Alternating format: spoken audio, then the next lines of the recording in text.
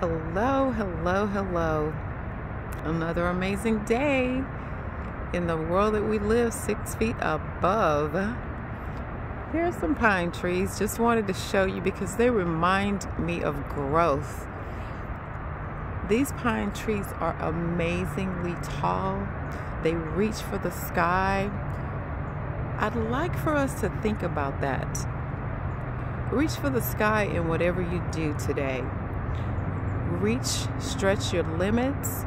The pine trees are slender but steady. They're very, very tall and they're very, very slender. The branches stabilize them. Think of the branches in your life, in your lives. It may be new opportunities. It may be how you love on others. It may be how you embrace others. It may be how you help others with a simple hello, a simple smile, a simple act of kindness. The pine trees grow so, so, so tall, and then they drop their little pine cones so that they could start new children, new families, new generations. Let the pine cones be the gifts that you leave for other people. Help someone, nurture someone, mentor someone, share with someone, listen to someone Give someone else a chance to grow.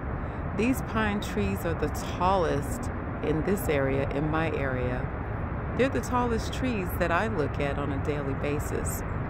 And it makes me realize that life has no limits. We can be who we want to be, grow how we want to grow, or we can replant ourselves like this pine tree does with the pine cones. They fall, sometimes afar, sometimes they're collected and replanted, repositioned, thrown into the trash. The trash is then taken to a larger dumpster and then they're dumped back into the earth somewhere, but they're replanted. So today, try to find a way to replant yourself, share with someone else, give someone else a book that you've already read or that you thought about reading and you realize it's a good read and it will help someone else. Mail it to them, email it to them, purchase it on Amazon, take it out of their cart. Have a great day and stay amazing.